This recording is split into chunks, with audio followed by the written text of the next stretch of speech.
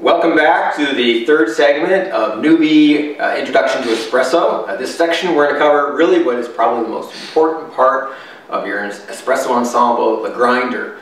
Uh, joining us is uh, Phillip, our, our, volunteer newbie, and we're going to talk about why grinders are important, uh, how to adjust them, how to save time when using them. So before we do that though, uh, some of the forum people, they asked, what's going on with Phillip? I mean, did he, did he did he learn to like espresso outside of his home, or did he just go back to his old Starbucks ways? Nope. Uh, we've uh, we've actually what it's been maybe a month and a half. It's been that long. It's been a while. Okay. maybe a month, and uh, we've been to Starbucks once. Whoa. One time. One time. Yeah, and and that was out of necessity. We weren't around. We just wanted a coffee, and, and we were there, and um, yeah, it's. Uh, uh, I, as I told Dan before, I'm, a little bit uh, upset at him now because uh, now my ignorance is gone and I'm, I'm, I'm, I'm, now trapped into this world. I think uh, in for some uh, some punishment. So well, that's fine. I, I, mean, that's a good thing. I mean, uh, sometimes you know, learning is, is is a painful process, right? But, but right. there's the benefits. One thing, though, I'm interested to hear is that when I gave you a, a loaner espresso machine yep. kit, I dialed it in before you left. Mm -hmm. So, you know, this segment's about grinders. I'm kind of curious uh, did you notice, what did you notice, uh, you know, as the weeks passed on and you went through different coffees, uh, what, what, what did you notice? So the, the, for what it was worth, I, I, don't know why I thought this, but I just thought that the finer the grind, the better the coffee was going to be. So uh-huh. as I was grinding, I was like, well, you know, let me turn up a little bit finer, and I didn't really know what I was doing. And it got to a point where I was trying to do, you know, the espresso, and just nothing was coming out. Sure. Yeah. And and I was like, oh no, I broke your machine. like, what did I do? So then I started thinking it was the machine. I was cleaning out the, uh, I think the basket is what it's called. Sure. I mean, so I thought that was clogged, and I just really didn't know what I was doing. And uh, um, that was actually when I called you. you know that was intentional, by the way. I'm sure it was. And I was, and I called you, and I was like, "Oh man, how am I going to explain to him that I broke his machine?" but to you know, then I understood that yeah, just had the, the ground too fine. So then I started playing around with that, and I knew that at that point, then I could sort of play around with it and sure. see timing as far as brews. And then, of course, then it would just pour out really quick, and I was just trying to find what I thought was decent. But that was the biggest thing that I didn't expect. Well, that's great because that's exactly what we want to cover here. Okay. Is uh, what you were experiencing was is as coffee ages, as it you know loses some of its essential oils, um, the grind setting changes. And if you change coffee, some coffee beans are hard, some are soft, yeah. it changes the way the grind setting is. And a lot of newbies, they struggle because uh, they don't know, you know which way should the grind set, and do I pay attention to the timing, do I pay attention to the volume, and they're all really confused. They go through a lot of coffee, which may be expensive, they become frustrated, yeah. then they end up on a forum like Home Barista, yeah. you know, irritated and such. So sure. our goal here in this session is to give you the basic mechanics of dialing in any grinder. Awesome. Okay? Awesome. So uh, before we get to that though, we're going to review really quickly some, some basics about grinders here. And, and here I have an ensemble of, of grinders uh, going from, you know, kind of the consumer entry-level ones, uh, from Baratza, uh, the two, the uh, Virtuoso, and uh, the step up from that, the Vario, And then moving on to commercial grinders. This is a Super Jolly by Mazzer, and then a Compak K10. So these are professional grade commercial grinders that you might see in a cafe. Um, unfortunately, they don't fit under typical uh, consumer uh, home uh, cabinets, mm-hmm. and so without you know mini hoppers and whatnot. And so a lot of people gravitate towards the, the home version of these because it's just more practical for that. But there are advantages to the commercial ones. Uh, as a class though, the two that we see here are what are called flat burr grinders, which are the first three here and then conical grinders. Now, without getting into a bunch of you know geekiness about what is flat versus burr, the long and short of it is is that you know generally speaking, professionals and aficionados agree that the conical burr grinders are perhaps more forgiving. They require less jockeying of the grind setting.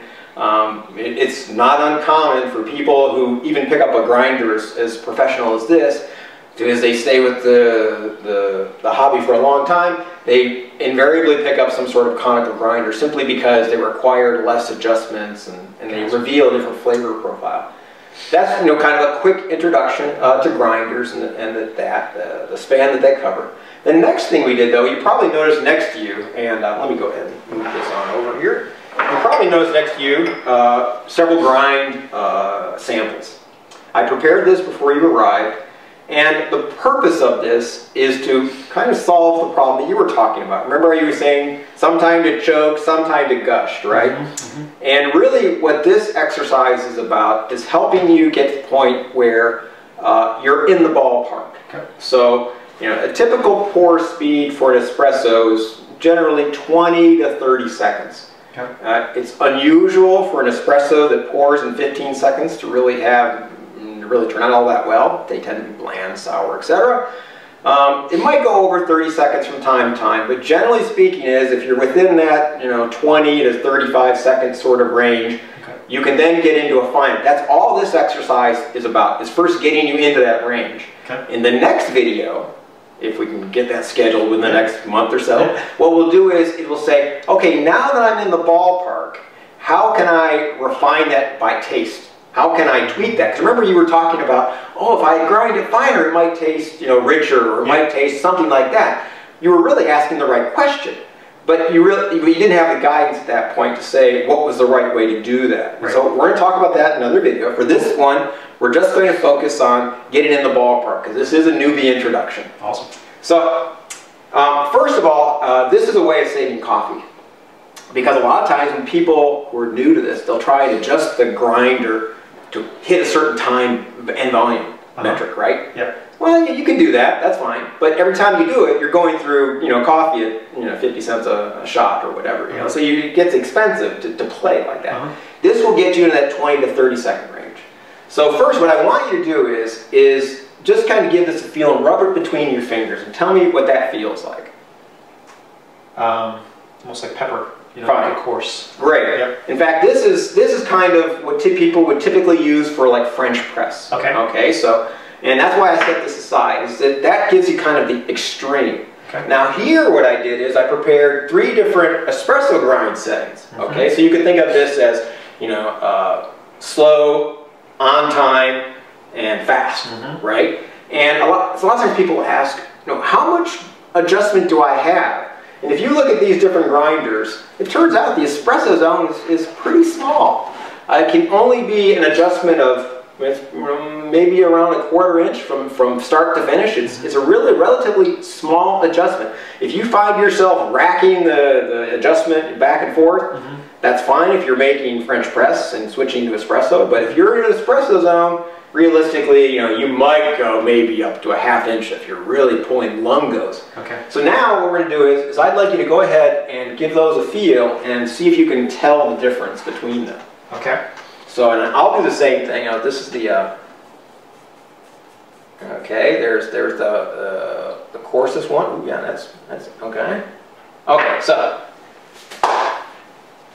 Yep. You feel the difference now? Yep. So this this one, I think is it's pretty obvious. In fact. Yeah. The funny thing is, is that that was only an adjustment of about an eighth of an inch oh, wow. in both directions. So this was spot on, eighth of an inch finer, uh, eighth of an inch coarser.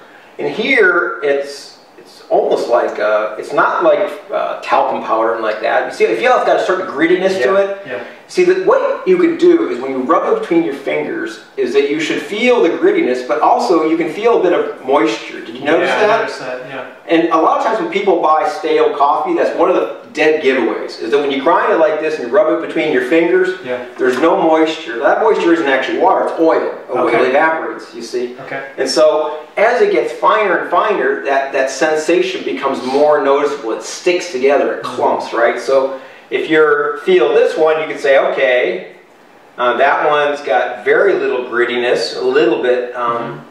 I, I describe it as uh, like white pepper. Mm. I don't know. Do you have a better better example of something like? Well, the first thing that came to my mind was just the moisture. You can mm -hmm. feel the moisture difference in the original. Yep. Okay.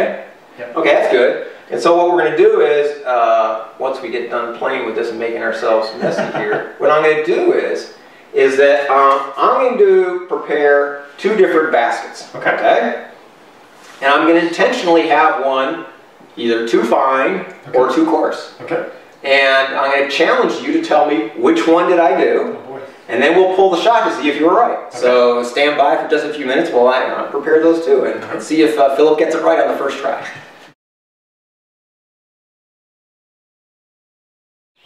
So we're back, and I prepared uh, two grind samples for Phil to try. Uh, Mhm. One here that is the dialed in, ready to go espresso, and one that's not. Okay. So go ahead and give it that field test we were talking about, and tell me if you can uh, identify the, the outlier. And the difference is going to be the fineness of the grind. Is that correct? Correct. Well, I'm not going to give you any hints. I mean, you should be able. The, the question is, remember the one that was in the middle of the Yep. three? Yep. You're trying to identify that one. Okay. And this was the one on the left, or this was the one on the right, and the other three. Okay. So, uh, so are you looking? Uh, you're trying. You're trying to look for a visual feel, aren't you? Exactly. Before I look at it, I'm trying to look at because I remember before when they were laid out there, I, I could tell.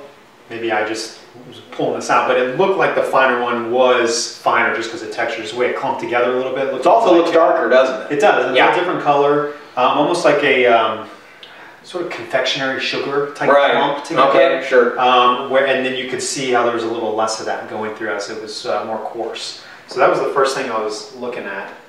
Um, I made it a little harder on you. I could have had the three up so you could spot it, but we're not going to give you any clues quite like that. Okay, so there's number one, sample number one, sample number two. Now you, you can't tell there's a difference, I hope. I can, I think. I think. Okay, that's fair enough. Uh, Okay, so well, let's first from, say. from the look, this looked fine. Okay, From fair the, enough. From the feel, Really? this looked finer. Yeah. Okay, so here we go. So let me see if I can uh, check myself. So what about your moisture thing? Remember we talked about that? yeah, yeah.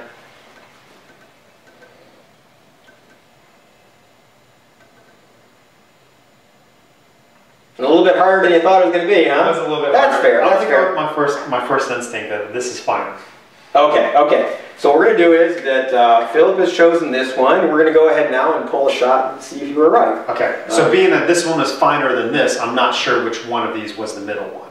Let me, Okay, let me enough, clarify. fair yeah, enough. I just comparing these two right against each other. Fair enough. Okay. Okay. Let's go ahead and uh, these baskets line up to that, Okay. and uh, we'll go with it. Okay. Uh,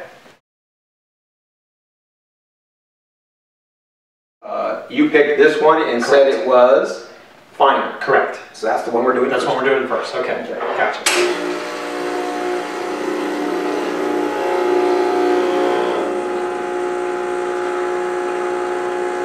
And remember we talked about, uh, I'm getting down here to, to take a look at the bottomless pour. You can tell by the color and the shape of the cone. Now watch as you see, if it starts to finish out, see how it pulls up like that? And so we were about, uh, about 25, 27 seconds, Okay. which, uh, Which is in the range. yeah, it is. it is, that's fair. And now we're going to try the same thing, but this time we're going to try the other one, okay? Get another cup. Excuse me. Just one sec. Should have had that already, but well. Okay. We're not going to worry about temperature. Normally, if you were using, you know, an espresso machine like this, you need to wait a little bit for it to recover. In between. Right, right. Like you know, a machine like this, even though you see a PID setting here, Yeah. this says you know 200 degrees or whatever. Yeah. Um, a smaller boiler needs recovery time, typically 90 seconds to as long as two minutes. Okay. If you do them too closely, what'll happen is the temperature will drop like a rock towards Ah, the end, and it'll result in sh- shots that are, are sour or dull or something Okay. like that. So we're not going to worry about that because right now we're just interested in timing, so it won't matter. So let's go ahead and give this a second whirl. Okay.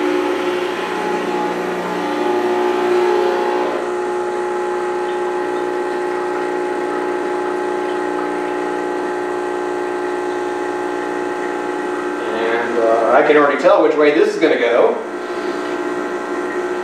Okay, I cut off the top of the cup at 17 seconds. And uh, so, congratulations. Awesome. uh, you correctly identified uh, the right one.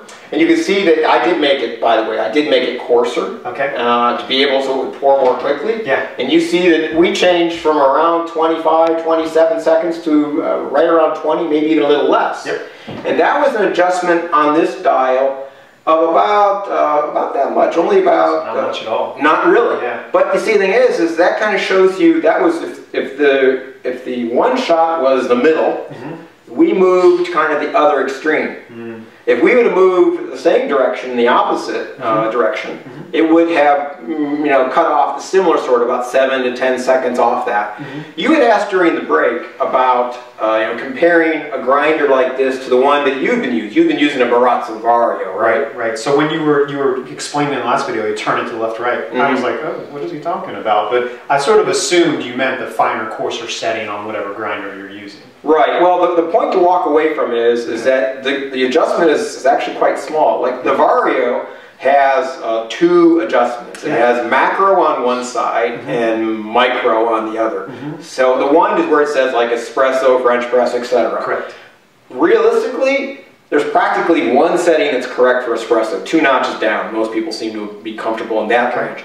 And then the macro is where you're you're adjusting. And I don't recall the exact ratio. It might have been like 10 to 1 or something like that. One thing nice about the Vario is is that you can set it to the macro for espresso mm-hmm. and then fool with the micro, the full range of it Oh, wow. will cover what we're talking about. Okay. And so like if you were to go all the way to the bottom and all the way to the top on the Vario, that would probably cover a range of, I don't know, 10 or 15 seconds or thereabouts, right? Okay. So, you know, it covers very much the same range we're talking about here with those little Just adjustments. little teeny gotcha. That's why a lot of Okay. people really like that grinder. That's one thing it's very newbie friendly because once you get to that, you know, macro setting correct, you can pretty much, you know, fiddle with the micro and dial it in pretty much Yeah. how you want. So. Okay, that makes a lot of sense because when I was using it, I had the macro at espresso about two notches down where you would set it. But with the micro, I was only playing around with a couple notches, Right. maybe four notches in the range of, you know, maybe this much. Well, keep in mind though that you were using really nice fresh coffee. Yeah, right? You Yeah. see, if, you know, if you were, I was giving you coffee that was, you know, at its, its peak. right. As if that coffee had gotten older, instead of being, you know, three, seven days, say it had been, you know, twelve days, Mhm. you would have started moving finer and finer along that range. Okay. uh, you see, so or if you switch types of coffee, Yeah. some coffees, especially uh, you know single origins, Yeah. typically will require a different setting, which is a, a far different from what you're usually seeing. So typically, the staler the coffee, the finer the setting. correct, Okay. correct, because they're losing that oil. You want to bring more of that oil out. Well, it's not so much the oil is, is that the amount of oil affects the extraction rate. okay. Now we're starting to get into an advanced topic, uh, or I'm more advanced advanced topic. guy. That's good. That's good. and so what we're gonna do is uh, we're gonna we're gonna stop it now, and you can look forward to the next installment where we're going to look. Uh, what- what did we say was on tap? Oh, diagnostics. That's right. We're gonna look at diagnostics. We're gonna turn to the questions like uh, Phillip was just posing. So look forward to the next in the installment of introduct uh, newbie introduction to espresso. Thank you.